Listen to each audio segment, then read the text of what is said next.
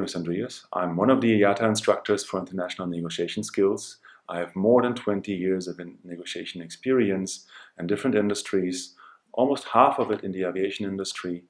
And I've also worked in some big and large international corporations.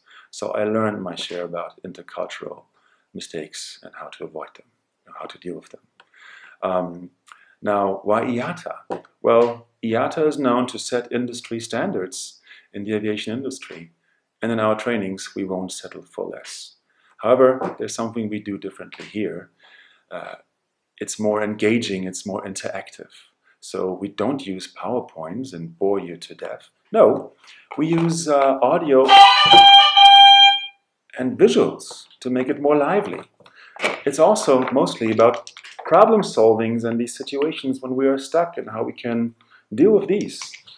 It's about the animals we sometimes become when it's not going our way on the negotiation table, and also about the animals that we sometimes face on the other end of the negotiation table.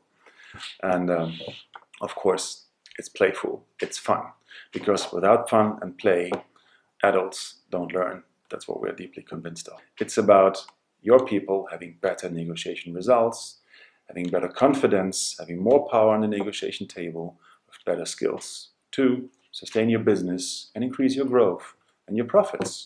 So, what exactly is keeping you from calling your IATA contact right now?